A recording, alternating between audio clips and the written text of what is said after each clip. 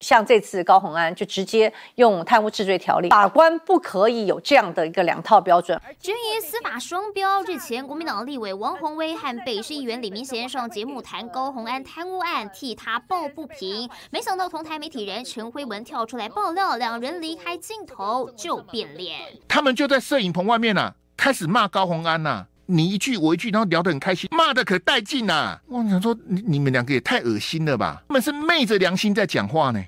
节目上说的不一样？陈慧文看傻眼。不过他一向被视为青蓝名嘴，这番爆料有人质疑把私下对谈曝光，看来要少两个朋友了。陈慧文再发文认为摄影棚外走廊可不算私人空间，自己也不敢高攀这两位是朋友，更何况跟他们连赖都没有。提醒网友，重点是棚内外双面人。李明贤赶紧澄清，私下聊的是办公室公积金，都是自掏腰包，包括政论节目收入，也认为双。标账的批判太重了，王宏威则反呛陈辉文只嗓博声量。为什么会到陈辉文的嘴巴里面会变成这样的一个不堪或羞辱式的言语？